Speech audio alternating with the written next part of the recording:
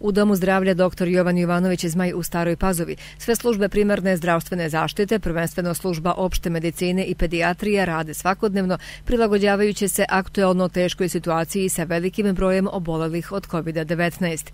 Iako ni jedna služba nije prekidala rad, pregledi kod izabranog lekara i laboratorija se zakazuju, kao i odlazak kod specijaliste, bilo u Domu zdravlja ili u bolničkim centrima, a negde se mora duže čekati. Pa ja sam onkološki pacijent, idem sada vadim krv, pa preklam sam hemioterapiju zato što ima neuspojevi i tako. Zadovoljna sam, ljubazna su i nema ništa reći.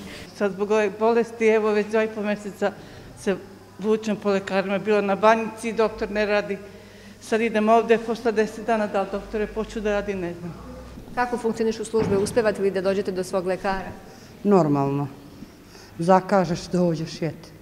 Nadležni kažu da je trenutno manje lekara u ambulantama na opštoj praksi s obzirom na to da se oni po potrebi preraspoređuju u crvenu zonu, ali trude se da smanje gužve i svima pruže potrebnu zdravstvenu pomoć.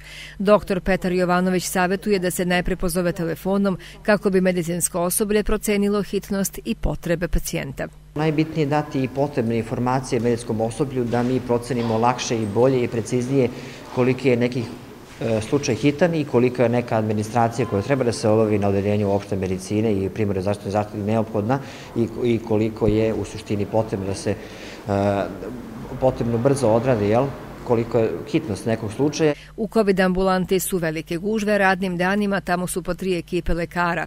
Na dnevnom nivou bude oko 300 pacijenata, ali unazad nekoliko dana primetan je veći broj drugih pregleda, što deluje kao blago smirivanje situacije. Ti neki podaci koje pratimo, broj prvih pregleda, drugi pregleda, broj drugih pregleda, tačnije gotovnih pregleda se povećava tako da se nadamo neko ili stabilnijoj brojci ili nekom trendu opadanja.